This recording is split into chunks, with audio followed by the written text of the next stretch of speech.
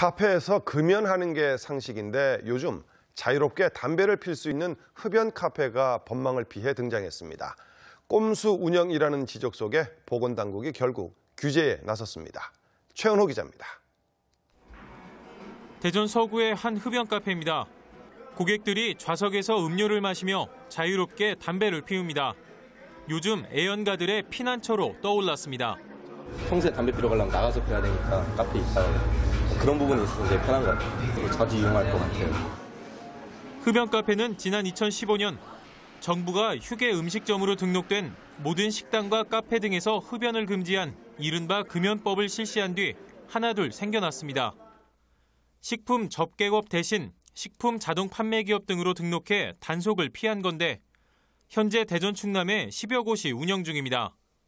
결국 정부는 흡연 카페가 법망을 교묘히 피한 변종 영업 형태로 판단해 칼을 빼들었습니다. 다소 흡연자분들이 어려움이나 불편함이 있으시더라도 공중이 모이는 장소에 있어서만큼은 금연이 원칙이라는 그런 기준을 갖고 저희가 계속적으로 이 금연 구역을 확대해 나갈 예정입니다.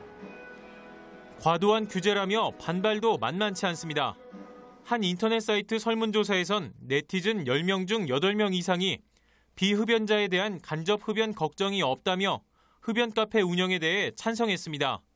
어디선가는 피실 텐데 오히려 이 안쪽에 들어오셔서 간접 흡연 피해도 없으시게 흡연을 하시는 게 맞다고 생각합니다.